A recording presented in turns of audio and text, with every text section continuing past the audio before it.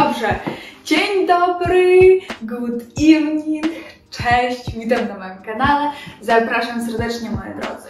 Dzisiejszy odcinek, kolejny odcinek na moim kanale i to jeszcze jaki? Druga część moich początków w Polsce. Ja się cieszę, mam nadzieję, że cieszycie się razem ze mną, że nagrywam tą drugą część i mam nadzieję, że e, moim subskrybentom, e, którzy mnie oczywiście subskrybują i stawią e, palce do góry i klikają w dzwoneczek i im ciekawie po prostu oglądać mnie, słuchać mnie. E, ja się cieszę i dziękuję bardzo, że jesteście na moim kanale, że mnie wspieracie, że chcecie mnie oglądać.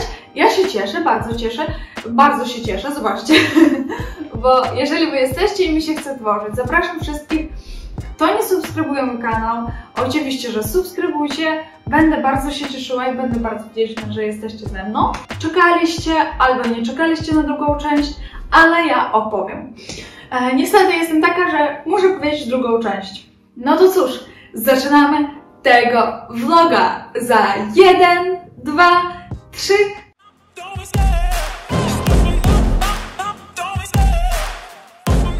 Dobrze, zaczynamy. Jak widzicie, tutaj mam kącik taki zrobiony, taki kocyczek biały, e, laptop z kaminkiem.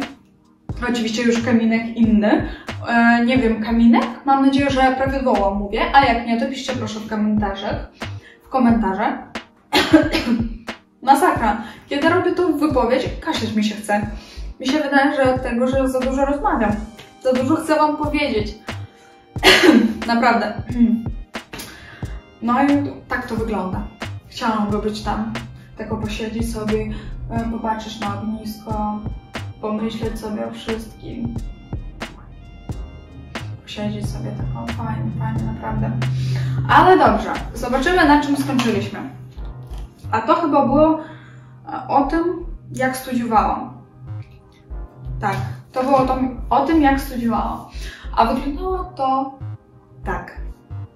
Wyglądało to tak, że e, musiałam z Tomaszowa Lubieski dojeżdżać do Lublina, bo ta szkoła się znajduje się w Lublinie. I musiałam po prostu wstawać rano, gdzieś o czwarte rano, oczywiście, żeby ogarnąć się, zrobić jakieś, jakąś kanapkę, jakąś herbatkę w drogę. I po prostu musiałam to wszystko ogarnąć i miałam autobusa na piątą rano. Na piątą rano miałam autobusa i z dwie godzinki albo z godzinkę jechałam do Lublina. I nie powiedziałam, że najważniejsze, że szkołę, szkołę miałam e, co weekend. Co weekend musiałam przyjeżdżać do Lublina, żeby mm, na te zajęcia.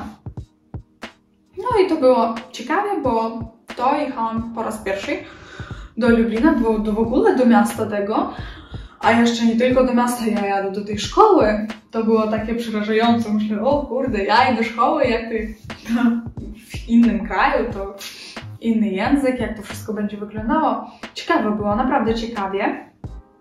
Nie bałam się, bo ja jestem takim człowiekiem, że chcę coś spróbować nowego. Jak widzicie, że tak samo zaczęłam nagrywać filmiki na YouTube'a, zaczęłam wszystko opowiadać o swoim życiu. Po prostu ja jestem takim człowiekiem, że chcę spróbować coś nowego, coś ciekawego, coś dla mnie, e, co po prostu nie robiłam tego wcześniej. I to dlatego próbuję coś nowego w tym roku. No i powiem Wam szczerze, że e, przyjechałam do tej szkoły, znalazłam tą szkołę, e, przyszłam. Najpierw musiałam znaleźć na liście swoją grupę, Flo, grupa florystyka, kierunek, kieru, kierunek fro, język mi się płąci. Nie wiem, co z nim zrobić. Musiałam na liście znaleźć kierunek florystyka i grupa i gabinet, gdzie to się znajduje. No, znalazłam, e, ale nie byłam pewna, że to to. No i zapytałam jedną dziewczynę, a akurat ta dziewczyna była Ukrainką. No i tam, wiecie, ona tak samo była z mojej grupy i ona mi akurat pomogła i znaleźliśmy ten gabinet i przyszliśmy, tam już czekała na nas nauczycielka. I oczywiście, że kwiaty, kwiaty stałe, takie ładne, róże i tak dalej. Ja już weszłam, myślę, o jak ładnie, to jest ładnie, naprawdę. No i e, co było dalej? Dalej usiedliśmy już przy ławce, tak wszyscy siedzimy, słuchamy, a było nas chyba około 40 osób. No, było nas dużo, naprawdę. I nauczycielka musiała nas podzielić na dwie grupy. Nie, pierwsze zajęcie było tak, że byliśmy razem, siedzieliśmy, a już drugie zajęcie, trzecie tam i tak dalej, to już by, byliśmy podzielone na grupę A i B. No i cóż, co było dalej? Później to pierwsze, pierwsze zajęcia, ja siedzę, to posłucham, o, coś nowego, jakieś nowe słowa poznam, e, coś jeszcze nowego, o, te książki, jak to wymówić, jak to, i siedzę i patrzę tylko na usta, na usta tej nauczycielki, jak ona to wymawia, jak ona to wszystko mówi, e, ja patrzę i jestem od tego zadowolona, że byłam w tej szkole, że wszystko patrzyła, że no, stres był. Nie powiem, że stresu nie było. Wszyscy my się stresujemy, kiedy coś, coś robimy po raz pierwszy. Przepraszam. Co robimy po raz pierwszy. No i ja nie wyjątek, bo to tak samo się stresowałam, ale poszło pie pierwsze zajęcia poszły dobre. Dobrze. No i poszło i pojechałam już z powrotem do Tomasza Lewieckim, byłam zadowolona, byłam dumna z siebie. Przyjechałam, opowiadałam swojemu narzeczonemu, jak tam było, jak to wszystko wyglądało. Oczywiście, że stresowałam, zadzwoniłam do swojej rodziny, powiem, że wyglądało to, to i tak to wyglądało. Moja rodzina też była bardzo dumna ze mnie, że poszłam, że zdecydowała, przyjęła taką decyzję pójść do tej szkoły i tak dalej. E, stres był, bo po prostu, e, jak przypomnę sobie to, bardzo dużo ciekawostek i bardzo dużo trudności z dokumentami, bo to nie takie proste załatwienie tej karty czasowego pobytu, to składanie wszystkich dokumentów, te wnioski różne, wypełnianie jakiegoś tam właśnie tego wniosku i tak dalej. Ciężko mi było, ale oczywiście, że wspierał mój kochany i poradziliśmy sobie. No, tak, tak to było. No i cóż, to już chyba z pół roku, e, chyba w grudniu musieliśmy zdawać egzaminy z jakichś tam przedmiotów. Napisałam te egzaminy, no, tam chyba na trójkę albo coś tam jeszcze, ja bardzo się cieszyła z tego, za bardzo tam nie była tam na 5 z plusem, ale trójeczka to tam chyba była. No i już, zdawaliśmy wszystkie egzaminy i pojechałam do domu. Pojechałam oczywiście, że w grudniu na święta do swojej rodziny. To było Mm, kiedy to było? 19 grudnia. I właśnie pojechaliśmy na Ukrainę i później 30 stycznia wróciliśmy już do Polski. I jak wszyscy wiecie, że e, później zaczęła się wojna na Ukrainie. Dosłownie za miesiąc. Ja akurat przyjechałam 30 stycznia, a nie, ja wcześniej przyjechałam, wcześniej no, wcześniej przyjechałam i ja przyjechałam chyba 22 stycznia, bo chciałam doczekać się, bo moja siostra była w ciąży i myślała, że będę na jej porodach i tak dalej, ale niestety nie doczekałam się i pojechałam, a moja siostra akurat miała porody 30 stycznia. E, i po prostu żałuję, żałuję, że się nie została z nią, nie, z nią nie wspierała ją, nie, nie była obok niej, ciężko, to jest ciężko. No po prostu musiałam wrócić do Polski, do pracy musiałam wrócić i, i akurat do tej szkoły, bo szkoła akurat u mnie się zaczęła i musiałam wracać już. No i wróciłam, e, wróciliśmy do Polski. Mm, akurat siostra dzwoni, że porody, że tam tak dalej, że urodziła. E, płakać mi się chciało od radości, że nie było mnie obok. Ale cóż, idziemy dalej. Jak wiecie, się zaczęła się wojna na Ukrainie.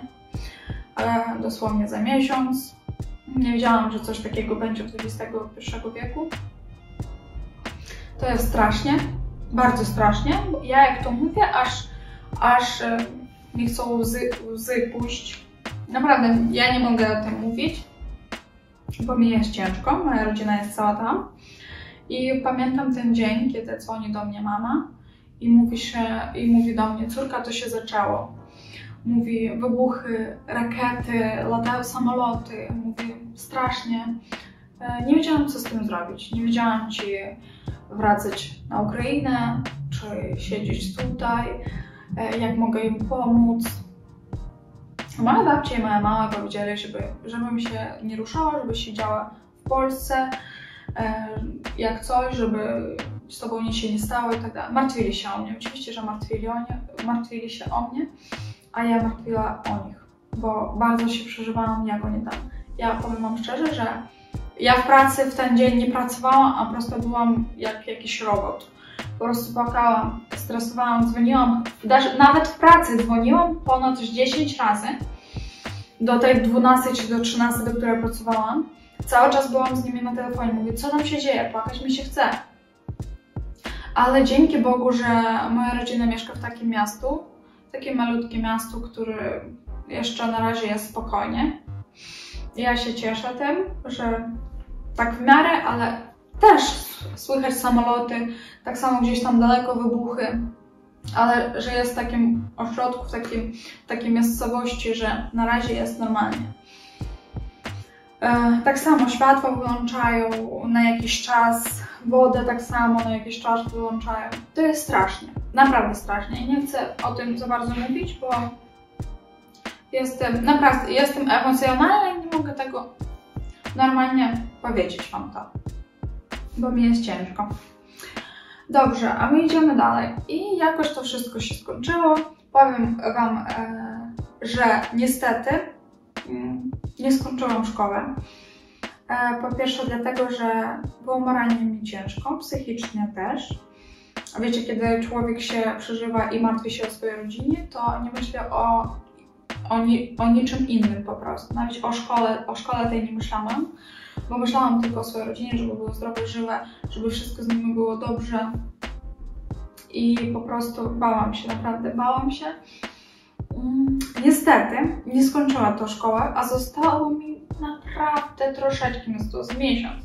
Byłam gotowa do tych egzaminów, byłam, no wiedziałam, naprawdę e, starałam się, myślałam, że skończę tą szkołę, ale moralnie, moralnie i psychicznie nie dało się. Nie dało się mi skończyć tą szkołę i musiałam, mm, musiałam zrezygnować z tej szkoły i niestety nie skończyłam ją. Ale to nic, mam nadzieję, że w przyszłości będę miała jeszcze jedną taką możliwość i pójdę do jakiejś szkoły, ale oczywiście, że inny jakiś kierunek.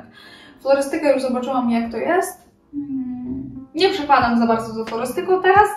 Zobaczymy e, jakiś kolejny kierunek, ale to już będzie jeszcze później. E, no i tak to właśnie wyglądało. A później tak się stało, że przeprowadziliśmy do innego miasta, a czekała na to bardzo długo, bo chciałam przeprowadzić się z tego miasta. No, nie za bardzo mi się podobało to miasto. Nie za bardzo.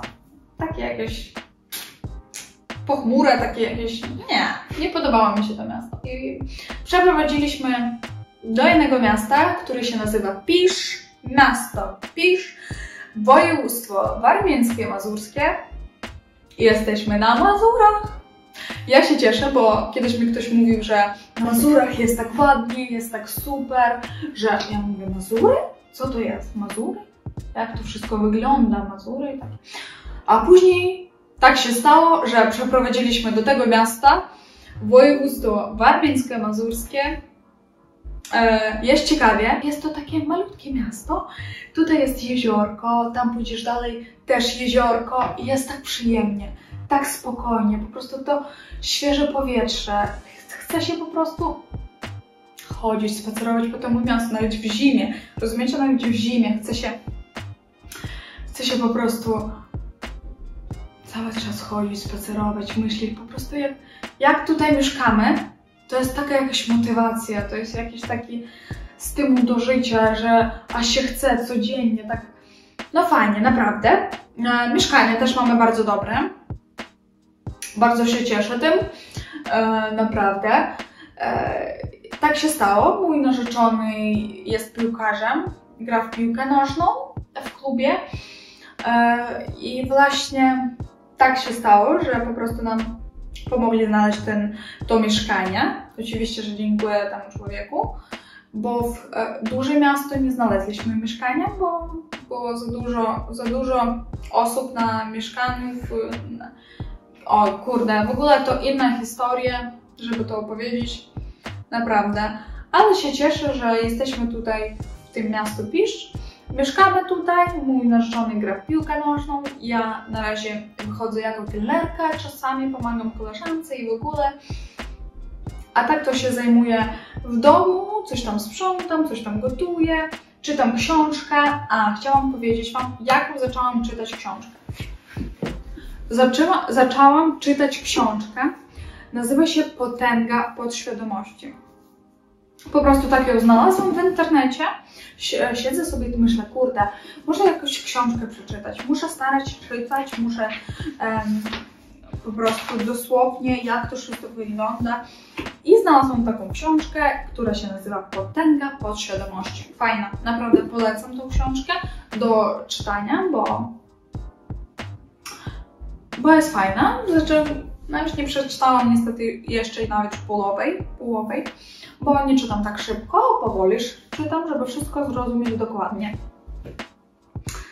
No i tak to wszystko wygląda. E, chciałam z Wami się podzielić tą drugą częścią mojej historii na moim kanale, e, o moich początkach. Ja z Wami tym się podzieliłam, powiedziałam, gdzie teraz mieszkam i oczywiście, że zapraszam Was na mój kanał, bo będzie jeszcze więcej ciekawostek, jeszcze więcej jakichś e, niespodzianek na moim kanale, kto do mnie przyjedzie, jak to wszystko będzie wyglądało. I w ogóle będzie bardzo ciekawie na moim kanale. Subskrybujcie. Jeżeli ktoś nie subskrybuje mój kanał, oczywiście koniecznie to zrób. Subskrybuj mój kanał, bo będzie to ciekawe. Napra naprawdę. Zapraszam Was wszystkich serdecznie, bo jeszcze raz powtórzę, jeżeli Wy jesteście i mi się chce tworzyć, Naprawdę, subskrybujcie mój kanał. Dziękuję, że, mm, że oglądaliście mnie do końca, że powiedziałam Wam to wszystko i mi jest przyjemnie, że mogę z Wami się tym podzielić, e, że wysłuchacie mnie, że zrozumiecie mnie, że piszecie komentarze, że wspieracie mnie. I dziękuję, że jesteście ze mną. Dziękuję, pa pa!